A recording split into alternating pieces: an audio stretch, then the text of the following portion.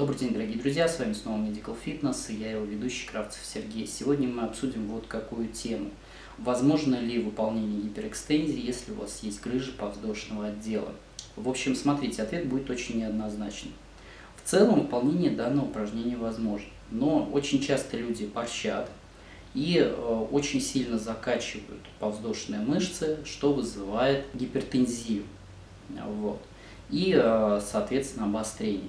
А, очень часто люди начинают во время воспалительного синдрома, когда у вас идет воспаление, еще делать гиперэкстензию. То есть это сравнимо с тем, что если я там, к примеру, как-то поранил ногу, руку, у меня какой-то порез, да, на руке, и я еще этот порез буду как-то тереть, ну, представим, ладонь я порезал, да, я постоянно буду засовывать руку в карман, чтобы она у меня выздоровела, растирать ее, как-то тренировать, брать эспандер, тренировать, но поможет это выздороветь на моей руке? Вряд ли. Вот тут то же самое, понимаете, у вас внутри болячка. Не нужно эту болячку теребить, пока, в общем-то, вы не решили процесс, вопрос с воспалительным процессом, с устранением. Конечно, в этом случае нельзя качать. Если у вас настала стадия ремиссии, у вас все хорошо, то, в принципе, вы можете выполнять гиперэкстензию. Вам не нужно переразгибаться очень сильно, то есть должна быть достаточно ограниченная амплитуда.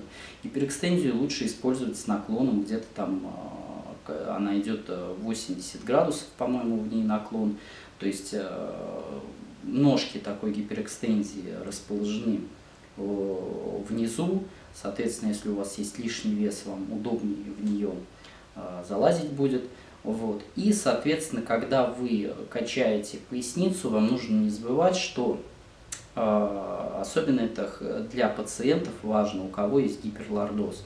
То есть, если у вас есть гиперлордоз, э, соответственно, вы должны всегда заботиться о том, что у вас должны быть сильные брюшные мышцы. Для этого вы ложитесь на коврик, подкладываете валик – и без отрыва поясницы начинаете совершать, в общем-то, сокращение на ваши брюшные мышцы.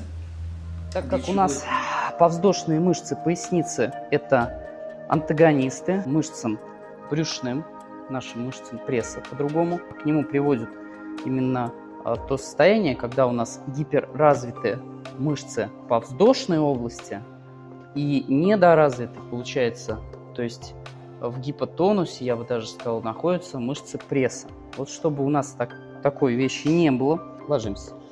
Вот замечательно, у нас уже совершенно другая картина. Ножки мы вытягиваем спокойно, расслабляем. Ручки мы вытягиваем вдоль тела, да.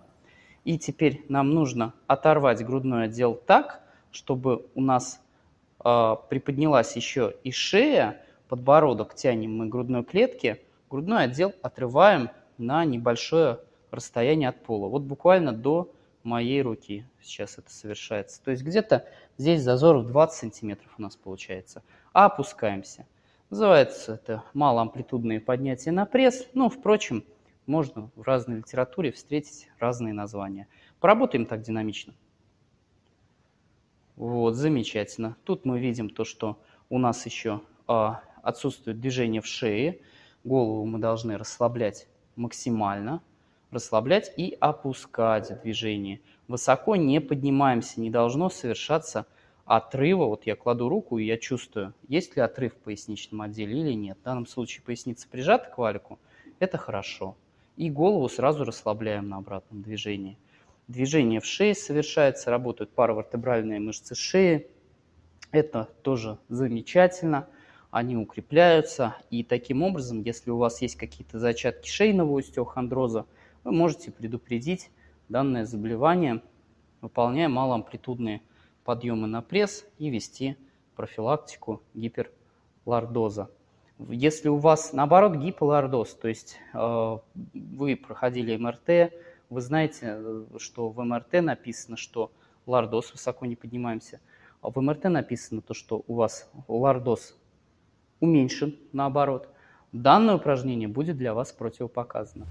Для чего это нужно? Для того, чтобы равномерно развивалась э, ваш, ваши мышцы кора, так называемые.